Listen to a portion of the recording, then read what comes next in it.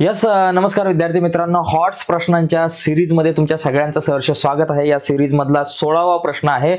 वर्ग समीकरणे या प्रकरणातला हा एक प्रश्न आहे. खूप महत्त्वाचा प्रश्न मित्रांनो. पुढे जाण्याच्या अगोदर एक रिक्वेस्ट करतो. नवीन असाल आपल्या युट्यूब चॅनलवर आणि अजूनपर्यंत आपला चॅनल सबस्क्राईब नसेल केला तर आत्ताच चॅनल सबस्क्राईब करा आणि त्या बाजूचं बेलचं बटन दाबून टाका. या अगोदर आपण पंधरा हॉट्स प्रश्न बघितलेत. पहिल्या दुसऱ्या प्रकरणातले काही प्रश्न आहेत. ते त्या अगोदरचे हॉट्स प्रश्न जर नसेल बघितले तुम्हाला बघायचे असतील त्यावरच्या व्हिडिओ तर या व्हिडिओच्या खाली डिस्क्रिप्शनमध्ये मी आधीच्या सगळ्या हॉट्स प्रश्नांच्या व्हिडिओज तुमच्यासोबत शेअर केलेले आहेत. आणि एक खुश खबर आहे मित्रांनो या व्हिडिओच्या खाली मी एक व्हॉट्सअपचा आपला ग्रुप आहे. त्याची लिंक दिलेली आहे. त्या लिंकवर क्लिक करून आपला व्हॉट्सअपचा ग्रुप जॉईन करा. त्या ग्रुपवरती मी वेगवेगळ्या प्रकारच्या व्हिडिओजच्या आणि इम्पॉर्टंट व्हिडिओज इम्पॉर्टंट नोट्स ज्या आहेत त्या तुमच्यासोबत शेअर करतो. आणखी सगळ्यात मोठी आनंदाची बातमी आपला एक ॲप आपण सुरू केलेला आहे. क्रिएटिव्ह मॅथ्स मराठी हा ॲप आपण सुरू केलेला आहे. तो ॲप तुम्ही प्ले स्टोअरवरती जाऊन डाउनलोड करू शकता क्रिएटिव्ह मॅथ्स मराठी त्या ॲपवरती या आणि ॲपवरती शिकू शकताय. चारशे नव्याण्णवचा एक छोटासा कोर्स तयार केला आहे त्या कोर्सच्या माध्यमातून तुम्ही गणिताची पूर्ण तयारी करून घेऊ शकता ओके? तर जाऊयात मित्रांनो पुढे. प्रश्न खूप जबरदस्त आहे. इंटरेस्टिंग प्रश्न आहे बघा. यात काय दिलं इयत्ता दहावीच्या वर्गातील एकूण विद्यार्थी विद्यार्थी संख्येच्या वर्गमुळाच्या सात छेद दोन पट विद्यार्थी मैदानावर खेळत आहेत व उर्वरित दोन विद्यार्थी वर्गात अभ्यास करीत बसले आहेत. तर त्या वर्गाची एकूण विद्यार्थी संख्या किती? आता एकंदरीत बघा विषय बघा या ठिकाणी कसा आहे नीट समजून घ्या. समजा जर का आपण एकूण विद्यार्थी संख्या एक्स मानली समजा. तर यांनी काय सांगितलंय? दहावीच्या वर्गातील एकूण विद्यार्थी संख्येच्या वर्गमुळाच्या म्हणजे एकूण विद्यार्थी संख्येच्या वर्गमुळाच्या म्हणजे एक्सच्या वर्गमुळाच्या सात छेद दोन पट विद्यार्थी. सात छेद दोन पट विद्यार्थी. एवढे विद्यार्थी काय बाबा मैदानात आहेत? हे सगळे विद्यार्थी काय करतात? मैदानात खेळत आहेत. ओके? व उर्वरित दोन विद्यार्थी. उरलेले किती? दोन विद्यार्थी जे आहेत ते वर्गात अभ्यास करत बसलेले आहेत. आता उरलेले जे दोन विद्यार्थी आहेत प्लस दोन विद्यार्थी वर्गात अभ्यास करत आहेत. तर एकूण वर्गसंख्या किती? आता बघा हे आणि हा दोन बरोबर किती असणार? आहे एक्स ही एकूण विद्यार्थी संख्या बरं का? मैदानात खेळणारे विद्यार्थी आणि उरलेले दोन विद्यार्थी. या दोघांची टोटल काय असणार आहे? या दोघांची जी टोटल आहे ती टोटल म्हणजे एकूण विद्यार्थी आणि एकूण विद्यार्थी म्हणजे एक्स आता याच्यात एक प्रॉब्लेम आहे की ही वर्गमुळातली संख्या आल्यामुळे जरा गडबड होते. मग इथं दोन्ही बाजूंचा वर्ग केला तरी हे वर्ग मुळात एक्स राहणार आहे. मग आपण एक आयडिया करूयात. म्हणजे एक ट्रिक वापरतो मी या ठिकाणी की एकूण विद्यार्थी संख्याच एक्स वर्ग मानतो. चला एकूण विद्यार्थी संख्या जी आहे ना आपण ती एक्स वर्ग जर मानली समजा हा मी माझं डोकं लावतो थोडंसं. विद्यार्थी संख्या समजा आपण एक्सचा वर्ग मानू. चला एक्सचा वर्ग मानू. आता एक्स वर्ग आहे मग याचं वर्गमूळ किती आलं? एक्स आता बघा मैदानावरील विद्यार्थी बरं का एकूण बघा या ठिकाणी काय दिलं इयत्ता दहावीच्या वर्गातील एकूण विद्यार्थी संख्येच्या वर्गमुळाच्या सातशे दोन पट विद्यार्थी मैदानावर खेळत आहेत.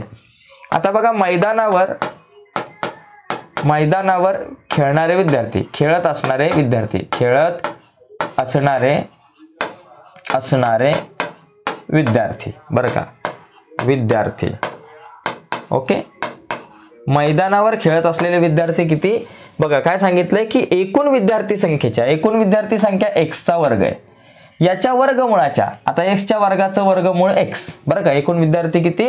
एकूण विद्यार्थी संख्येच्या वर्गमुळाच्या म्हणजे एक्सच्या सातशे दोन पट विद्यार्थी सातशे दोन पट विद्यार्थी मैदानात खेळत आहेत.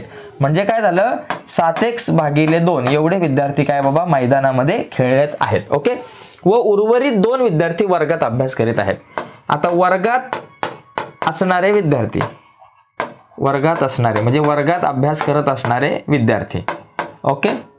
विद्यार्थी बरोबर किती बाबा? दोन आहेत. ओके? बरोबर? मग आता एक गोष्ट लक्षात घ्या. बघा एकूण विद्यार्थी बरोबर. एकूण विद्यार्थी एकूण विद्यार्थ्यांची जी संख्या आहे ती किती असणार आहे बाबा? सात एक भागिले दोन. हे काय बाबा? मैदानात खेळत असणारे विद्यार्थी आणि अधिक अभ्यास करत असणारे दोन विद्यार्थी. ही झाली एकूण संख्या. आता एकूण विद्यार्थी म्हणजे आपला एक्स वर्ग आहे. एक्स वर्ग बरोबर सात एक्स भागिले दोन अधिक दोन. आता इथं एक वर्ग समीकरण तयार होईल. आणि हे वर्ग समीकरण सोडवून आपल्याला एक्सची किंमत काढायची. आणि जी एक्सची किंमत असेल ते आपलं उत्तर. बघा आता पहिली गोष्ट आहे खालचे दोन घालवायचेत मला. खालचे दोन घालवण्यासाठी सगळीकडे दोनाने गुणणार मी. दोन गुणिले एक्स वर्ग दोन एक्स वर्ग. बरोबर सात एक्स भागिले दोन गुणिले दोन. अधिक दोन गुणिले दोन. सगळीकडे दोनाने गुणलं. आता बाबा हे दोन एक्सचा वर्ग आपल्या जाग्यावरती बरोबर. आता इथं हे दोन दोन गेले म्हणजे फक्त राहिले सात एक्स आणि अधिक बे दुने चार. इथं बघा दोन गुणिले दोन बरोबर चार. आता सगळ्यांना इकडे घेऊन टाकू. बघा दोन एक्सचा वर्ग अधिक सात एक्स इकडे आले वजा सात एक्स अधिक चार इकडे आले वजा चार बरोबर शून्य. आता बघा आपल्याला काय करायचं? हे वर हे वर्ग समीकरण सोडवायचं. आता गुणाकार किती पाहिजे? दोन गुणिले चार. किती पाहिजे गुणाकार? दोन गुणिले चार आठ. गुणाकार आठ पाहिजे. अशा संख्या कुठल्या? आठ एक हे आठ. आणि चार दोन्ही आठ. ओके? आणि वजाबाकी सात पाहिजे. वजाबाकी सात कोणाची येते? आठ वजा एक सात. म्हणजे आठ एक्स आणि एक एक्स यांची वजाबाकी येते सात. आता ही जोडी आपल्याला घ्यायची आता यांना चिन्ह द्यायचे आता जोडी तर मिळाली आठ एक्स आणि एक्स आता यांना द्यायचे चिन्ह. चिन्ह कुठली द्यायची? दोघांची होणारे वजाबाकी. वजाबाकी होत असेल तर वेगवेगळी चिन्ह द्यायची. एकाला अधिक द्या एकाला वजा द्या. मग मोठ्या संख्येला कुठलं द्या? सातच्या अगोदर वजा आहे. ते वजाचं मोठ्या संख्येला आणि अधिकचं लहान संख्येला. मग आता आपण या ठिकाणी काय करू बाबा? दोन एक्सचा वर्ग वजा आपले हे आठ एक्स अधिक आपलं एक्स वजा चार बरोबर शून्य. हे दोघेजणं हे दोघेजणं कॉमन काढू. यांच्यामधून दोन आणि आठ दोनाच्या पाड्यात येतात. म्हणून दोन कॉमन एक्स वर्ग आणि एक्स याच्यातला एक्स कॉमन कंसात दोन एक्सच्या वर्गातले दोन एक्स बाहेर आले फक्त राहिला एक्स वजा. बेस चोक आठ म्हणून चार एक्स आलाय बाहेर. म्हणजे इथं किती आले? वजा चार एक्स आलाय बाहेर. ओके या दोघांमधून काहीच कॉमन नाही निघत. ज्या वेळेस काही कॉमन नसेल निघत त्यावेळेस एकला कॉमन काढायचा. मग प्लस एक कॉमन काढला कंसात राहिले एक्स वजा चार बरोबर शून्य. एक्स वजा चार दोन वेळा आहेत. एक्स वजा चारला एकदाच लिहा. आणि दुसरीकडं दोन एक्स अधिक एक बरोबर शून्य. आता बघा एक्स वजा चार बरोबर शून्य येईल. किंवा किंवा दोन एक्स अधिक एक बरोबर शून्य. आता एक्स बरोबर वजा चार बरोबर चिन्हाच्या पलीकडे गेले अधिक चार झाले. किंवा दोन एक्स बरोबर अधिक एक बरोबर चिन्हाच्या पलीकडे गेले वजा एक झाले. एक्स बरोबर वजा एक छेद दोन. आता विद्यार्थी संख्या जी आहे ती एक छेद दोन वगैरे येऊ शकत नाही. विद्यार्थी संख्या जी आहे ती पूर्ण संख्या येईल. ही पूर्ण संख्या नाही आहे मग आता काय करायचं बाबा आपण? आता एक्स बरोबर चार घ्यायचं. एक्स बरोबर काय घेऊ बाबा? चार घेऊ. आता आपल्याला एकूण विद्यार्थी काढायचे होते. मग एकूण विद्यार्थी बघा. एकूण विद्यार्थी संख्या जी आहे ती आपण काय मानली होती? एक्सचा वर्ग मानली होती. बघा एकूण विद्यार्थी संख्या एक्सचा वर्ग. मग एकूण विद्यार्थी संख्या एक्सचा वर्ग असेल तर एक्सची किंमत आहे चार. मग लिहिला चाराचा वर्ग. चाराचा वर्ग किती? सोळा. अशा प्रकारे एकूण विद्यार्थी संख्या सोळा येईल. आणि हा प्रश्न दोन हजार एकवीसला आला होता. आता याच्या बाबतीत बघा गंमत बघा तुम्हाला सांगतो. प्रश्न कसा फिरून फिरून विचारला जातो. तुम्ही पुस्तक जर असेल तुमच्याकडे आता बघा तुम्ही पुस्तक घ्या.